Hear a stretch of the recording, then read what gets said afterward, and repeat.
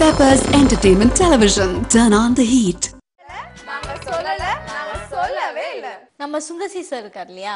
இப்போ வந்து நிறைய ஹாரர் படம்லாம் வந்து பார்ட் ஒன் பார்ட் டூன்னு எடுத்து முடிச்சிட்டாரு.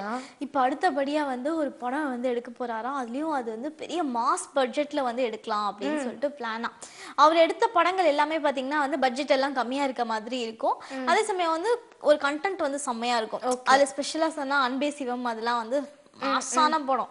அந்த மாதிரி வந்து ரொம்ப நாள் கழிச்சு இப்ப வந்து ஒரு பெரிய பட்ஜெட் படத்துல வந்து அவர் வந்து டைரக்ட் பண்ண போறாராம். அந்த படத்துல ஹீரோவும் வந்து பெரிய ஹீரோ தான் வச்சு நான் பண்ண போறேன் அப்படின்ற முடிவுலயும் இருக்காராம்.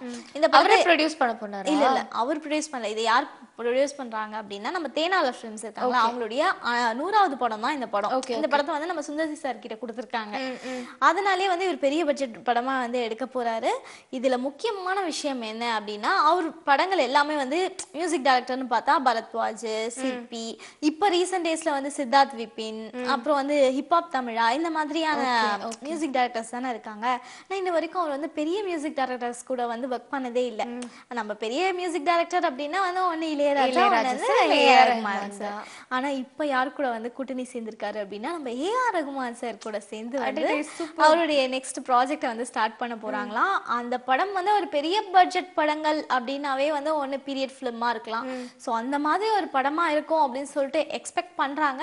சோ என்ன படம்? ஆனா வந்து ஏஆர் ரகுமான் அப்படிங்கிறது கன்ஃபார்ம் ஆயிடுச்சு. சோ என்ன படம்? யார் இந்த படத்துல நடிக்க போறாங்க அப்படிங்கறத அப்போ நம்ம வந்து பெரிய பட்ஜெட் படம் ஏ ரஹ்மான் சார் மியூசிக் டைரக்டர்னா அப்ப காஸ்ட் அண்ட் க்ரூவும் வந்து நல்ல பெரிய- பெரிய டீமா தான் இருக்கும் இல்லையா?